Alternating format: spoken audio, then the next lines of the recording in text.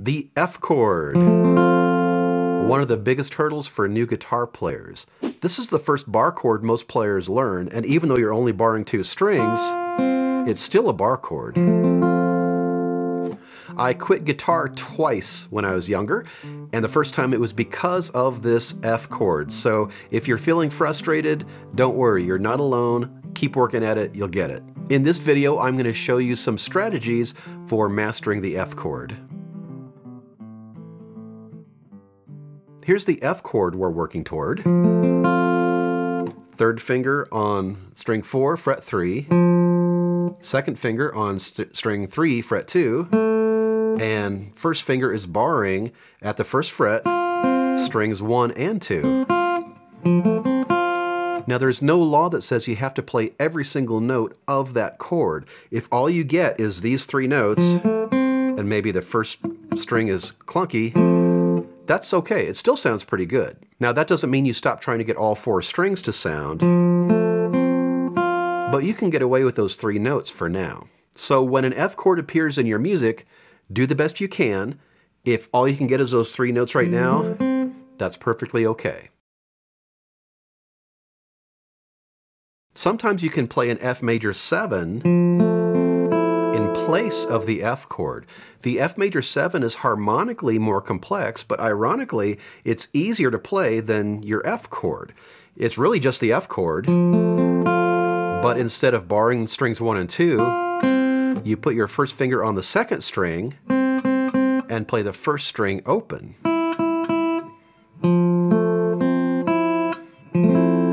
It's an easy chord and it's kind of pretty. A lot of times the F major 7 sounds good, and sometimes you really do need the F chord. It really depends on the song. So while you're getting away with the 3 note F or the F major 7, keep working toward that true F chord.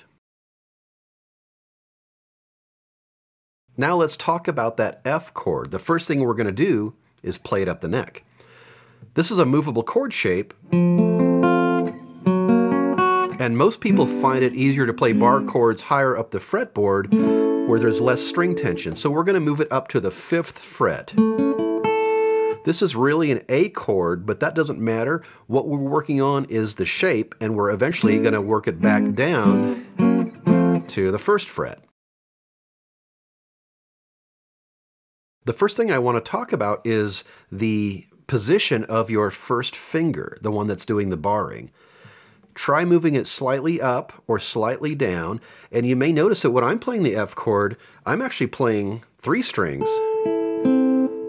That may seem counterintuitive, but just for me personally, that puts my fingers in just the right position to get all the notes I need from that F chord. Now let's talk about the angle of your first finger, the one that's doing the barring. Instead of playing on the very front of your finger, you might find it helpful to roll it a bit so you're playing on this side of your finger, the side that's closest to your thumb. I'll exaggerate here. So this is the front of your finger.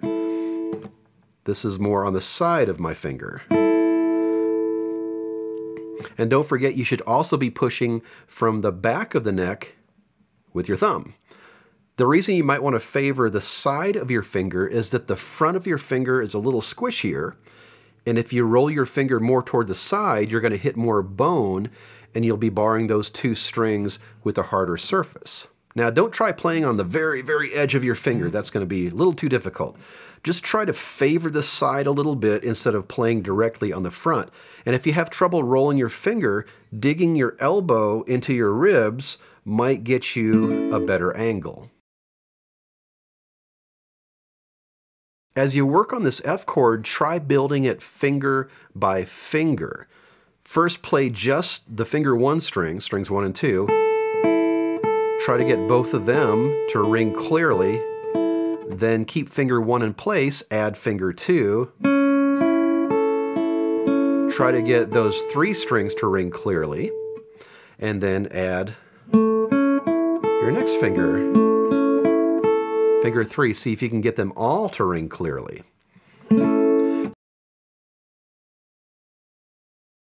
You can also try building the F chord from the bottom up. Put fingers two and three down, Make sure those two strings are ringing clearly. And then add finger one.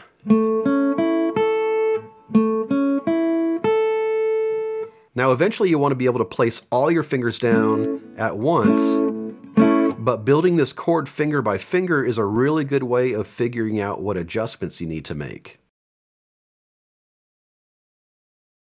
And once you can play this chord shape at the 5th fret, it's time to move it down the neck. So start at the 5th fret, work it down fret by fret until you reach the 1st fret, strum each chord slowly to make sure each string is ringing. And if you have trouble somewhere, you know, back it up.